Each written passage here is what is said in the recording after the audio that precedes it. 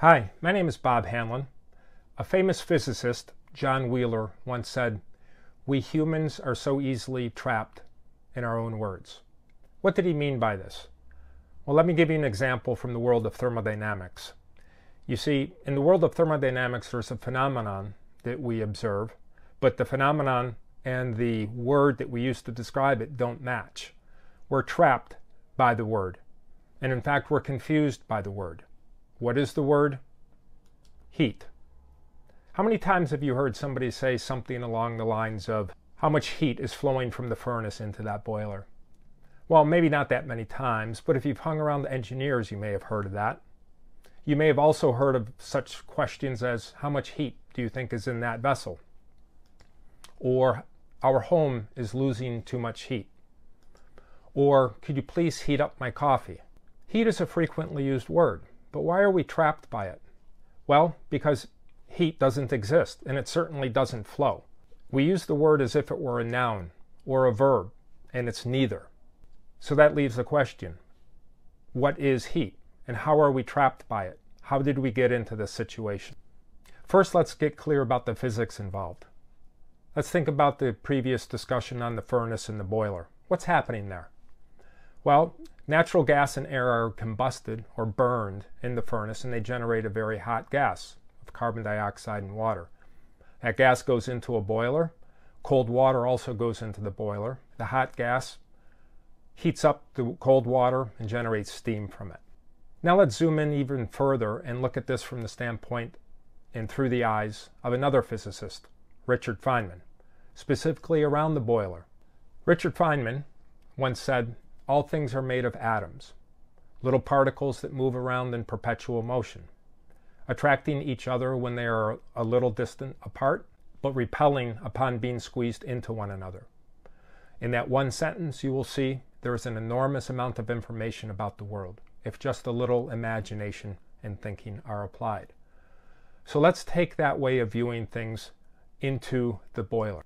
While the hot gas molecules coming out of the furnace are moving at extremely high speeds, close to 1,000 meters per second, that's about 10 football fields in one second.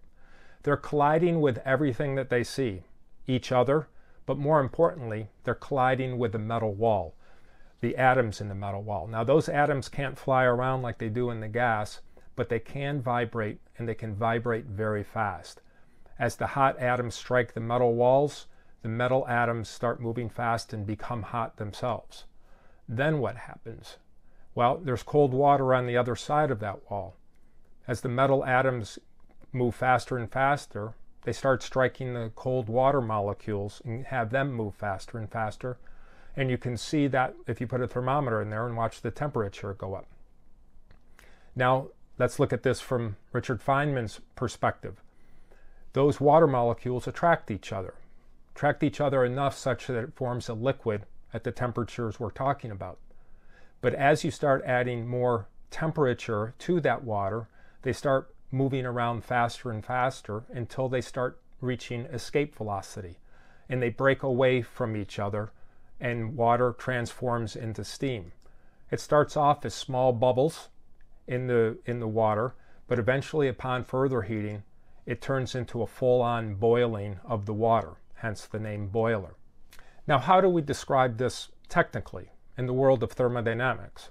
Well, we say that the hot gas loses energy as it transfers energy to the water. Then we say that the water experiences an increase in energy. And then what do we say? Well, based on the first law of thermodynamics, the energy decrease in the gas must equal the energy increase in the water.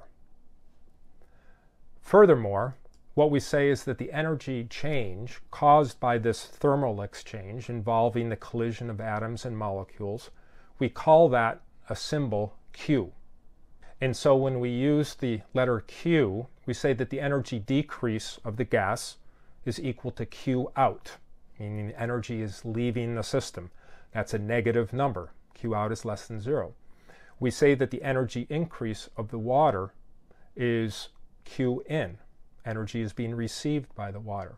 And that's greater than zero. It's a positive number. And then when we say energy is conserved, we say that the absolute value of Q out and Q in are identical. And that's fine. But what do we call Q? This is where we get into a problem. You see, we call Q heat. And more than that, we suggest that Q as heat flows from hot to cold. That's what we say quite often. Heat is flowing from the hot to the cold. Well, again, what's the problem with that? Here's the problem there's no such thing as heat, it's not a noun. There's nothing that actually flows during the exchange of thermal energy. It's all about the collision of atoms and molecules. So, how did we get stuck or trapped by this word in this way? Prior to 1850, before people realized that atoms and molecules even existed, people thought about heat as a material substance, invisible, but still a substance that flowed from hot to cold. They, call, they called the substance caloric and the theory around it the caloric theory. In the late 1700s, Antoine Lavoisier raised caloric to a higher level. He called it one of the fundamental elements of nature, indestructible. In 1824, Sadi Carnot embraced this theory of caloric as a flowing substance in his explanation and analysis of how a steam engine worked. Unfortunately, as you could guess, he did not succeed in the analysis. And it wasn't until the mid 1800s that scientists realized that caloric didn't exist. And in its place, they put the concept of energy and its conservation. In 1850, Rudolf Clausius upgraded this concept of energy and its conservation into the first law of thermodynamics. And from there on, we've embraced this theory as one of the foundations of thermodynamics. And it was at this moment in time that the concept of caloric died. Unfortunately, what didn't die was its name. You see, caloric comes from the French calorique, and calorique comes from the Latin calor, and calor translates into English as heat. So, even though caloric died, heat, symbolized by Q, survived. Scientists continue to use the old world heat in the new world of energy. We continue to talk about a flowing heat, even though there is no such thing as heat. Alas, we are trapped by this word. In summary, again, the symbol Q quantifies the change in energy caused by the thermal exchange of energy between bodies in contact with each other. It's a difference between two numbers. We call Q heat and are, in the words of John Wheeler, trapped by this word.